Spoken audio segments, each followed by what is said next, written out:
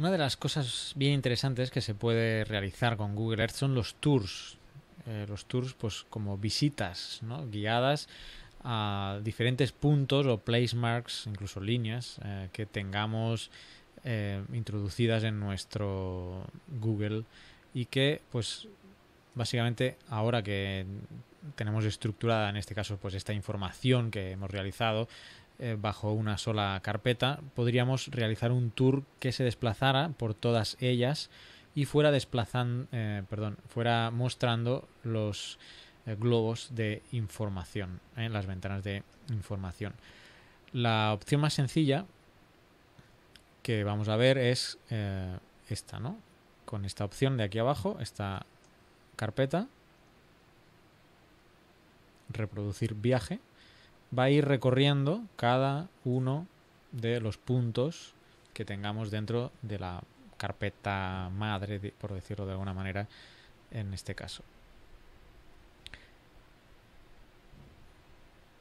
Esta opción, que es eh, por defecto, digamos, viene a aplicar los parámetros, mientras se produce, los parámetros que dentro de herramientas opciones está en la pestaña de viajes cuál será el tiempo entre los puntos, cuánto tiempo va a esperar en el punto, si va a mostrar las viñetas de información o no, con qué ángulo y alcance de la cámara y velocidad, etcétera. Em, incluso pues con qué eh, fidelidad o con qué calidad se va a grabar el vídeo. Esto estará dentro de herramientas, opciones, eh, herramientas, opciones, viajes. Así que esto se va reproduciendo por defecto. Ya hemos llegado al, último punto, el de la erupción. Y yo podría grabar este tour. Podría grabar este tour con la pestañita de este disco. Vamos a ponerle tour 1. Y aceptar. En este caso, pues, si le doy doble clic, se va a reproducir el tour. Puedo desplazarlo al punto que quiera, etcétera a través de esta barra. El tour lo puedo guardar como un archivo KMZ o KML y tenerlo para pues, poderlo compartir. Pero hay otra opción más personalizada en la que nosotros podemos, em, vamos a hacer otro tour, podemos eh, parar en cada punto, eh, quitar la la ventana de información, incluso movernos. Y esto lo vamos a realizar con la opción de grabar un viaje. Al clicar grabar un viaje, se nos, abre, se nos abre esta ventanita aquí abajo y la secuencia de pasos ahora eh, hay que hacerla bien porque no es tan intuitiva como parece. Para empezar vamos a situarnos sobre el lugar o sobre la carpeta que va a contener los puntos sobre los que yo me voy a desplazar. Voy a dejar esto abierto ya que así vamos a empezar nuestro vídeo. Yo al darle a grabar vamos a empezar nuestro tour de esta manera. Y de ahí se va a ir desplazando por cada punto. Le damos a grabar. También puedo hacerlo con la opción grabar a la vez no solo el vídeo, sino que puedo añadir voz a cada punto y desarrollar eh, pues en, un lugar, eh, introducirle el audio. No, no lo voy a hacer, pero que sepáis que que, está la opción. Al darle al grabar, ya veis que está corriendo el tiempo y vamos a empezar el tour hacia el primer eh, punto. En esta ocasión, la ventaja que, como os decía es que tenemos más control sobre el vídeo. Aquí yo ya puedo, por ejemplo, darle pause, que se quede un rato en esta ventana para que la gente pueda leer, ver la foto. Una vez hecho eso, puedo cerrar eh, la ventana de información, quedarme otro momento para que se vea el contexto. Incluso puedo desplazarme, moverme, hacer rotaciones de vista y seguir. ¿Veis? El tiempo no ha parado. Lo que he estado haciendo se ha quedado grabado. En ese sentido, pues sí puedo seguir entonces hasta el siguiente lugar donde podemos realizar la misma acción. Podría parar ahora que vieran el contexto. Puedo moverme por la imagen, seguir, parar, que se quede un rato, la gente le dé tiempo a leer, ver la foto, cerrar y seguir. Esto ha quedado pues grabado y eh, en el tour que, veamos así eh, va a quedar.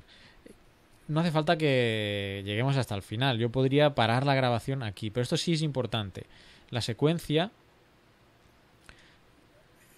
para que quede grabado el tour es una vez empezado a grabar, para que quede grabado es volverle a dar al botón de grabación. Ya que he llegado al final, me voy a esperar a que aparezca la información. Por ejemplo, le damos pause, la gente lee, vea la foto, lo cierro y bueno, podemos acabar quizá con pues una, una rotación sobre el volcán y pararíamos apretando el botón de grabación nuevamente. Al hacer eso, automáticamente me va a reproducir lo que yo he grabado para pues bueno a ver para ver si eh, me gusta cómo ha quedado y verificar pero esa es la secuencia ¿eh? poner a grabar el viaje ejecutar la visita y para parar volver a dar al botón de grabación como veis todavía no lo he guardado no puedo visualizar lo que he grabado. ¿eh? Por ejemplo, aquí ya en la parte final, donde ya estamos en, el volcán, viendo la información y terminando con, con esta rotación.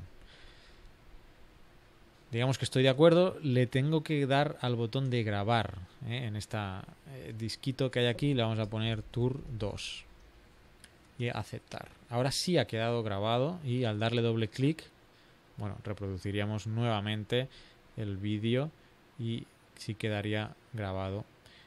Y viéndose pues las pestañitas de información y toda la eh, todas las vistas que hemos realizado. Hasta aquí una parte. Estos tours que también que como hemos visto puedo exportar a KMZ puedo grabarlos como ficheros de, de vídeo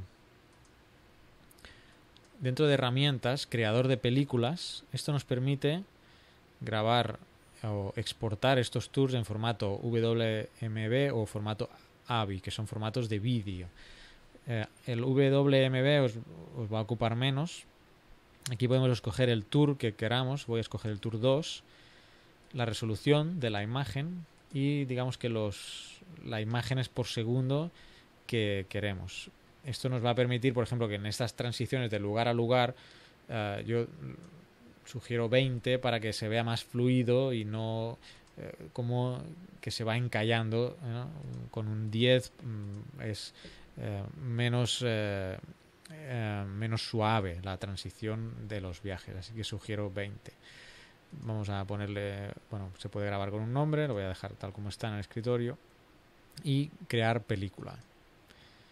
Y bueno, mientras se crea voy a hacer una pausa para que sea más corto el vídeo. Vale, ya terminó de, exportarlo. De hecho, aquí tenemos el, el archivo. Pesa 77 megas. En AVI hubiera ocupado mucho más. Ahora bien, hay que comentar algo de la exportación a, a, a fichero de vídeo. Y es que, por alguna razón, aceptada por los creadores de, Google Earth, no se despliegan los mm, globos de información. El motivo no lo sé, pero eh, está aceptado y es no, se graban. Eh, como veis, no se despliegan. O sea, si tenemos la información de base del terreno, eh, los vuelos hacia los lugares, pero toda la parte de información que se despliega no, no aparece. Entonces ese es uno de los problemas que tenemos em, al exportar. Em,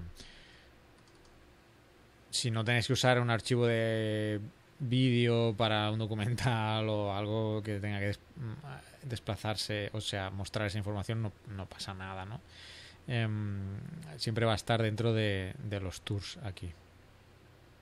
Aquí vemos, ahora se va, aquí sí, que esta es la, el propio archivo de Google, pues este no, no tiene problema.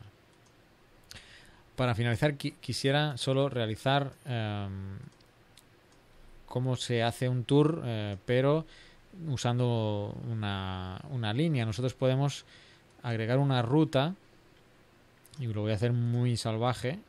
Vamos a ir de, Coatepeque a, a Ilopango, que son los dos lagos. ¿eh? Vamos a ponerlo así. Yo podría hacer un desplazamiento, reproducir un viaje sobre esa ruta. O sea, usar una línea para viajar. Puedo, como decía antes, puedo modificar los parámetros porque, por ejemplo, esta imagen no es muy poco sugerente, ¿no? Puedo modificar la altura de la cámara respecto a la línea, el ángulo de visión, ¿eh? todo eso lo puedo modificar en herramientas, eh, opciones, viajes. ¿eh? Podría subir más la cámara, hacer otro ángulo, etc. Y luego el procedimiento de guardar la ruta sería la misma que la que hemos visto antes. Así que bueno, estos son los tours y nada, ahora practicar.